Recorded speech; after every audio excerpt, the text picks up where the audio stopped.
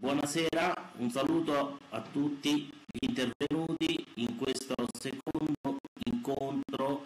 in, eh, in Second Life per la, la LIM sessione 3.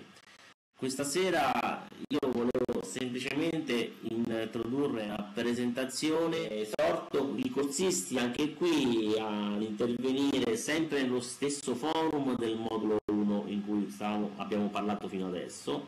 anche per i contenuti di questa parte, dove si troveranno delle indicazioni e, e dei contenuti riguardo le TIC in Europa, strumenti del nuovo Web 2.0. Al termine di questa settimana, chi vuole può farlo anche prima, io già ho aperto il compito, c'è un piccolo compito che non è nient'altro che una descrizione eh, mirata però di ciò che abbiamo visto fino adesso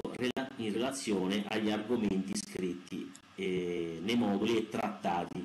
quindi da voi. Ho caricato sulla piattaforma Moodle anche altro materiale proveniente da, da quello che è stato l'incontro, il seminario di Montecatini, quindi un report di tutti gli interventi. E mm, quindi rivedere anche qualcuno di questi interventi, qualche materiale proveniente dal seminario di formazione di Montecatini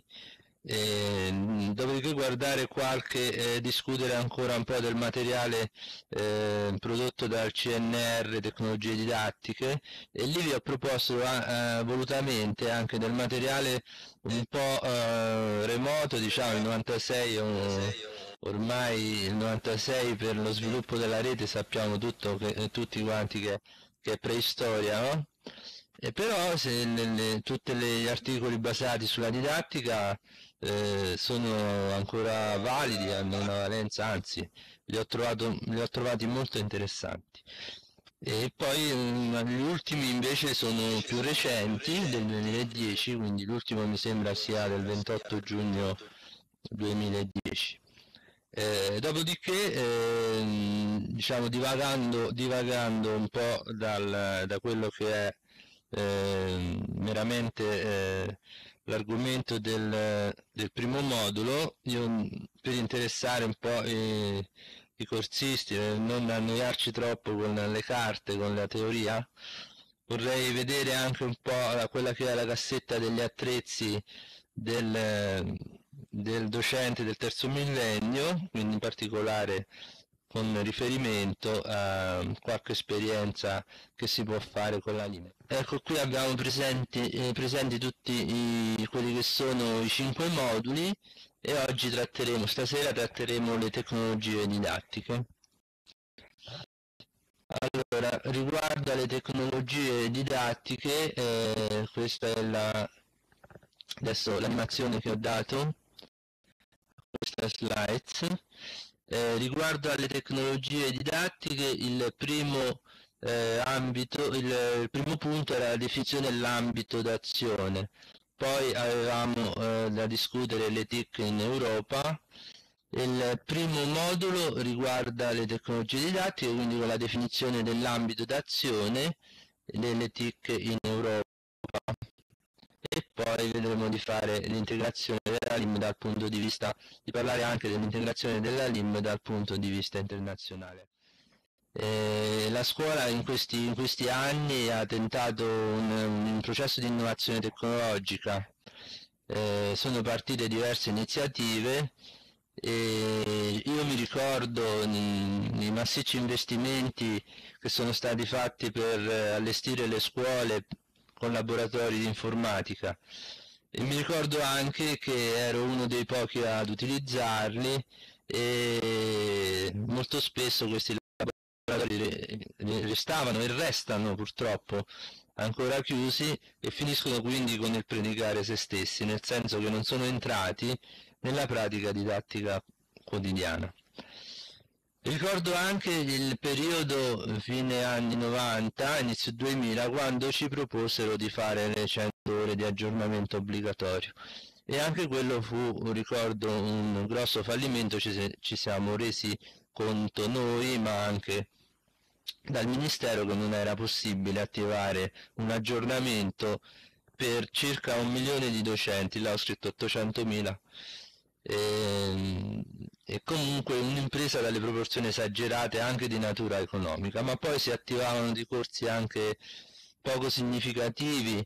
che eh, venivano seguiti, progetti seguiti soltanto per raggiungere quelle famose 100 ore, ma questa è stata una piccola parentesi, eh, una sperimentazione del tutto negativa. Il DIT poi, il Dipartimento per l'Innovazione Tecnologica, di cui oggi eh, è capo dipartimentale eh, Giovanni Biondi, maturò eh, l'idea di, da, a partire dal 2005 che c'è stato DG Scuola, no? maturò l'idea di rinnovare gli ambienti di apprendimento e si partì, Biondi era solito quando ci incontravamo fare sempre questo questo discorso del grosso divario tecnologico tra il mondo sociale dell'attuale civiltà e la scuola. E c'era quel bello spot, un video spot che eh, parlava del viaggiatore nel tempo che non riconoscerebbe la società con cartelloni elettronici, pubblicitari, strumenti digitali per la rilevazione del tempo, della temperatura, disseminati nelle, nelle strade delle nostre città, giovani ed adulti che circolano con telefonini, iPod, iPad, notebook, che ascoltano musiche con lettori MP3. Insomma, le informazioni in società viaggiano digitalmente ed in modo dinamico e reticolare. Lo stesso viaggiatore invece riconoscerebbe la scuola con la stessa lavagna di Ardesia di 150 anni fa banchi, sedie, cattedre, penne, quaderni e libri cartacei e lezioni prevalentemente frontali, con un'acquisizione sequenziale e quasi unidirezionale delle conoscenze. Eh, quindi questa eh, è la premessa e poi i progetti attivati Progetti attivati dal 2006-2007 di G-Scuola, parlo di progetti nazionali del Ministero, eh? perché poi ce ne sono, ci sono anche diverse regioni che hanno adottato dei, dei, progetti, dei progetti locali. Progetti in Italia sono stati di G-Scuola del 2006-2007 che ha interessato nelle scuole superiori il biennio, due classi delle scuole superiori, poi il DG Scuola è proseguito, eh, ha mantenuto il portale, diciamo, però cambiato, eh, perché il DG Scuola mi ricordo che era di una società, la Engineering, mi sembra dell'Emilia Romagna, poi invece il Nuova Scuola è stato prodotto proprio eh, in ambito ministeriale ed era un po' quello che era il proseguimento del, del primo progetto eh, esteso anche alla scuola secondaria di primo grado. Poi è partito quello che è il piano di diffusione delle lavagne elettroniche, il primo piano nel 2009-2010, quindi l'anno scorso, e contemporaneamente c'era il progetto Innova Didattica, sempre nel 2009-2010, e 2009-2010 è partito anche il progetto Classi 2.0, che prosegue anche quest'anno interessando anche la scuola eh, primaria e la scuola secondaria di secondo grado. Quest'anno è attivo ancora, abbiamo visto a Montecatini con la formazione, anche il piano, il piano di diffusione delle lavagne elettroniche, diciamo a prosecuzione del primo, del, piano, del primo piano de, che ha interessato la scuola secondaria di primo grado il piano di diffusione delle lavagne, chiamiamolo 2, quindi 2010-2011, interesserà anche la scuola, eh, le scuole, eh, gli altri ordini di scuola, quindi la scuola primaria e la scuola secondaria di secondo grado. In particolare, allora, parlando ancora un po' di questi progetti, eh, molto velocemente, Vediamo un po' ricorda questo. Il, il, progetto di G-Scuola che cosa ha portato? Il progetto di, di G-Scuola ha, ha, portato a un aggiornamento di circa eh, eh, per, che coinvolgeva 556 scuole secondarie di secondo grado tre classi per scuola, quindi eh, ha coinvolto 1668 eh, classi, due docenti per classe, quindi 3336 in tutto i docenti coinvolti,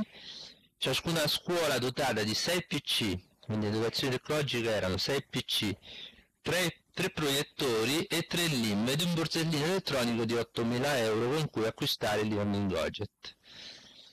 Le offerte dei vari editori poi omaggiavano di solito le scuole di, di, ulteriori lavagne elettroniche. In effetti nel nostro caso all'IDIS Settore Majorana di Avezzano abbiamo ricevuto, ricevuto in omaggio eh, una, un'altra lavagna elettronica da 77 pollici in seguito all'acquisto eh, di Learning Gadget. Il progetto di G-Scuola prevedeva anche una piattaforma e-learning quindi c'era anche una piattaforma di insegnamento elettronico a distanza. Eh, tramite la piattaforma si potevano creare lezioni semplici, lezioni strutturate, corsi personalizzati per gli studenti, dotata di forum e chat, la possibilità di creare mappe concettuali e di usufruire di un'area per l'upload e il download delle risorse e dei materiali didattici sia da parte dei docenti che degli studenti creando così una repository condivisa e l'opportunità di seguire gli studenti a casa. Quest'ultima possibilità, quindi quella di poter seguire gli studenti a casa, credo che sia tramite piattaforma e-learning, credo sia una buona pratica didattica, ma non so quanto abbia attecchito con il progetto di G-Scuola. In effetti anche io, pur stimolando gli studenti in questa attività, non ho riscontrato proprio un grande, un, un grande intervento da parte di tutti, eh. c'erano sempre quei, quei, pochi studenti più motivati, più interessati, ma di solito eh, in queste attività quelli più interessati delle volte non sono i più bravi, eh, non coincide sempre l'interesse per le nuove tecnologie con la bravura. Si riesce comunque a recuperare una bella fetta di ragazzi che praticamente con l'insegnamento tradizionale sarebbero, sarebbero persi. Quindi sarebbe una buona pratica didattica, però credo che i tempi non sono ancora maturi, bisognerebbe educa educare in modo adeguato sia gli studenti e i docenti per poter svolgere in maniera ideale questa, questo tipo di didattica. Il progetto, eh, parliamo sempre di DigiScuola, aveva una validità biennale e nei successivi anni scolastici è stato esteso anche agli altri ordini di scuola, però non si chiamava più DigiScuola. Come nome del progetto eh, riguardava soltanto 2006-2007 poi si è trasformato in nuova scuola ma ovviamente non aveva le stesse caratteristiche di DigiScuola ha mantenuto come DigiScuola il, il portale quindi una piattaforma e-learning dove, dove poter attingere eh, risorse digitali e quant'altro